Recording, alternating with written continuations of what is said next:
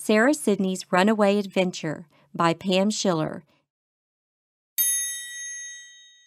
Sara Sidney's owner scheduled a trip, so she called Mrs. Kravitz to come pet sit. She showed Mrs. Kravitz how to prepare Sara's foods and how to read her iguana moods. She explained the importance of a daily outing and warned Mrs. Kravitz that Sara didn't like shouting. You must never, she said, whatever you do, take Sara outside at half past two.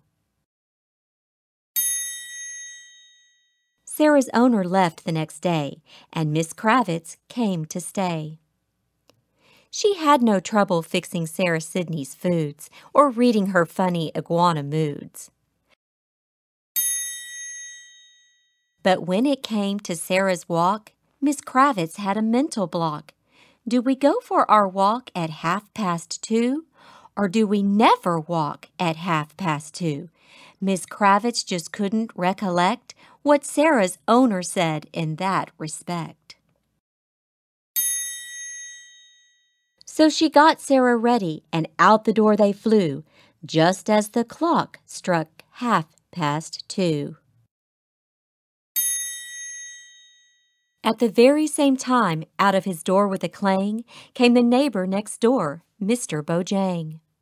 And at the same time, there was even more noise as the school bus arrived, bringing home girls and boys. Sara Sidney startled and then went berserk, and Miss Kravitz tumbled down when the leash gave a jerk. The children gave chase, as did Mr. Bojang, but Sara ran faster away from the gang. She ran through the park and through the stoplight.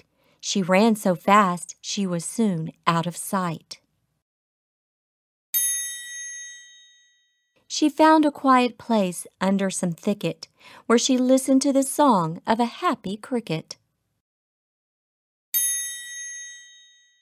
The cheerful notes of the cricket's serenade helped Sara calm down. She was no longer afraid. She thanked her new friend for his cheerful song and headed home feeling happy and strong. Miss Kravitz was searching all around with concern. Her heart skipped a beat with Sara's return. Oh my, she exclaimed, I'm so glad you're back. You almost gave me a heart attack. She took Sara's leash and led her inside, and said out loud with a great deal of pride, I have learned my lesson through and through. We will never go for a walk at half past two.